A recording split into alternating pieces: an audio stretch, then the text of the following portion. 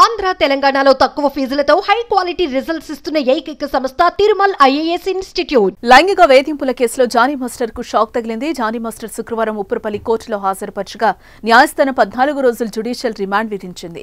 October మూడు వరకు రిమాండ్లో ఉంచారని ఆదేశించింది. దీంతో చెంచల్గూడ జైలుకు జానీ మాస్టర్ను పోలీసులు తరలించారు. గురువారం గోవాలో ఆయనను అదుపులోకి తీసుకున్నారు. శుక్రవారం ఉదయం హైదరాబాద్ తీసుకువచ్చి రహస్య ప్రాంతంలో విచారించారు. విచారణ అనంతరం గోల్కొండలోని ప్రభుత్వ హాస్పిటల్లో వైద్య పరీక్షలు నిర్వహించి కోర్టులో హాజరుపరచగా రిమాండ్ విధించింది కోర్టు.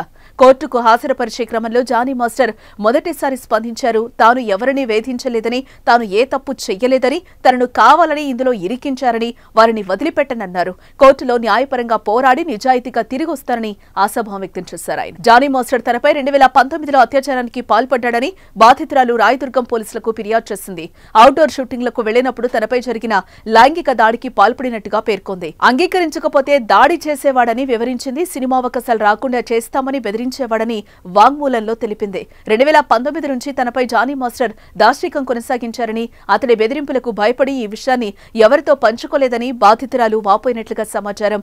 ఈ విషయంపై ఎదురు తిరిగిన తర్వాత తనకు అవకాశాలు రాకుండా వేధించడం ప్రాజెక్టుల్ని అర్ధాంతరంగా వదిలేసేలా ఒత్తిడి చేసేవారని వాంగ్మూలం ఇచ్చినట్లుగా సమాచారం. యువతి ఫిర్యాదుతో కేసు నమోదు చేసుకున్న పోలీసులు జీరో ఎఫ్ఐఆర్ని నమోదు చేసి నార్సింగ్ పోలీస్ స్టేషన్కు బదిలీ చేశారు. తొలుత అత్యాచారం నేరపూరిత బెదిరింపు దాడి తదితర మూడు సెక్షన్ల కింద కేసు నమోదు చేశారు.